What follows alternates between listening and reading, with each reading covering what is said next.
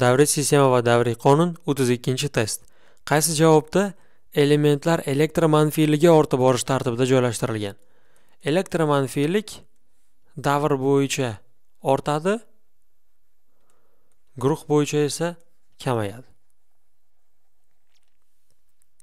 Ortib borish tartibi demak davr bo'yicha e, ketma ketlikda berilgan javoblar bo'lishi kerak. Demak uglerod kremniy germaniy qalay qo'rg'oshinga qaraymiz? Uglerod kremniy germaniy qalay qo'rg'oshin mana bu yerda guruh bo'yicha ketma ketlik berilgan va bu yerda kamayadi ortmaydi.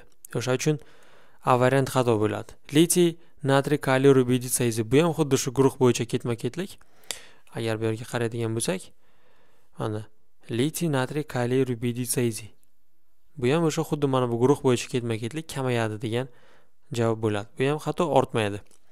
Ho'p yod brom xlor ftor vodorod ho'p ushbu ketma ketlikka qaraymiz. Yoddan bromga o'tgan paytda ortadi bromdan xlorga o'tganda ortadi xlordan ftorga o'tganda ortadi lekin ftordan vodorodga o'tganda kamayadi.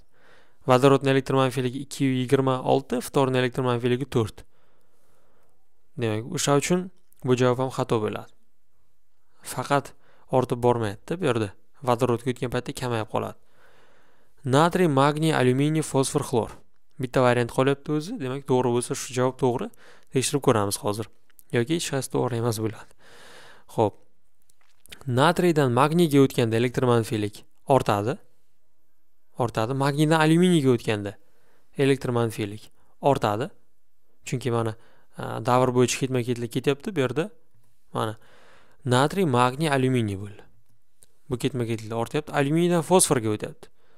Demak kremniy qolib ketdi fosforga o'tdi baribir o'sha ketma ketlik ketyapti ortyapti.